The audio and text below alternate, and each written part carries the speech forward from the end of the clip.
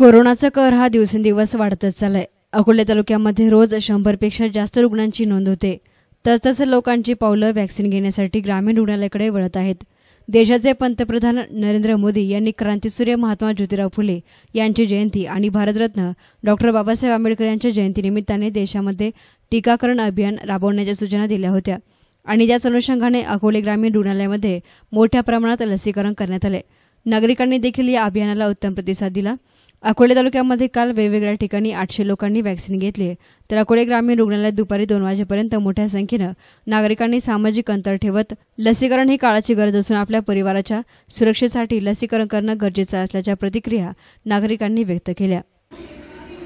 मोदींनी जी घोषणा केलेली आहे लसीकरणाची तर ते मी ऐकलं आणि मी लस घेण्यासाठी आलेली आहे. तर ह्या तीन दिवसामध्ये लसीकरणाची जी घोषणा केलेली आहे लसीकरण महोत्सव जो तीन दिवसाचा आहे त्यात स सर्व नागरिकांनी न घाबरता न डगमगता कुठल्याही प्रकारे मनामध्ये शंका न ठेवता लसीकरण करून घ्यावं. आज मी पण लसीकरण करणार आहे. म्हणजे मी ल आज लस घेते. असं सर्वांनी सर्व नागरिकांनी ह्याचं ह्या लसीकरण महोत्सवाचा फायदा घ्यावा. काय वाटतं आज काय उत्सुकता आहे तुम्हाला? इतके दिवस सगळीकडे चर्चा चालू आहे वर्तमानपत्रात टी व्हीवर मोबाईलमध्ये.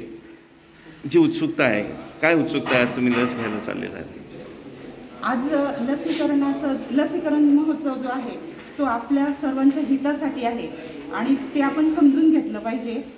आपण लस घेतली पाहिजे न घाबरता असं मला म्हणायचं आहे आणि ती लस घेण्याची उत्सुकता आहे. कारण प्रशासनाने आपल्याला त्याच्यानंतर आपली सिक्युरिटी पण दिलेली आहे. किंवा आपल्याला त्याच्यानंतर काय काळजी घ्यायला पाहिजे हे पण आपल्याला त्यांनी सांगितलेलं आहे. त्यामुळे आपण त्याचा लाभ घेतला पाहिजे.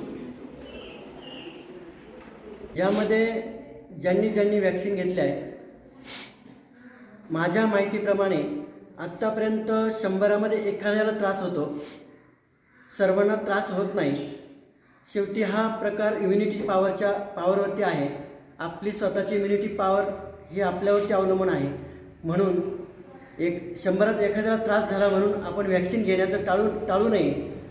प्रत्येकाला माझं आव्हान आहे की प्रत्येकानं व्हॅक्सिन घ्यावी आणि आपली सुरक्षा आपण बाळगावी. News reporter Subhash Kharbas S media Akole.